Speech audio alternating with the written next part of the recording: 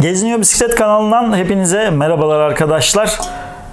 Cinelli'yi nihayet toplama videosuna geçtik. Hatırlayacaksınız. Önerilerde de geliyor. Daha önce ne yapmıştık arkadaşlar?